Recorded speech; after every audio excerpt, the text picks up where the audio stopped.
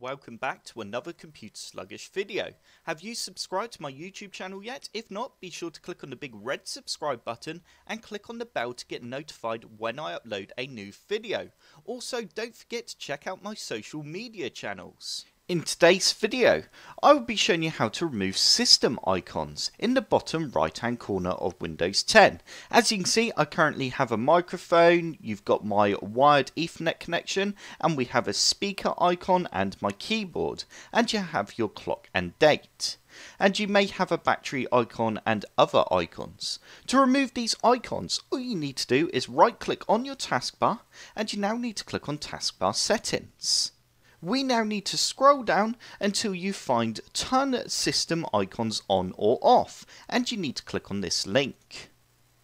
You will now see a massive list of system icons and as you can see I have clock on which is correct my clock is shown in the bottom right hand corner. If I simply turn this off I no longer have a clock showing. I can go ahead and do this for my volume, my network, and I could do this for location, input indicator, touch keyboard, and microphone.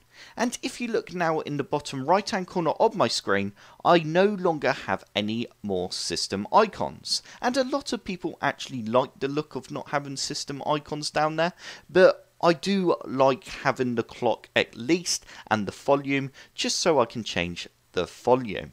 Anyway, I hope this tutorial has helped. If it has, hit the like button below and subscribe for more computer sluggish tutorials. Don't forget to check out my social channels.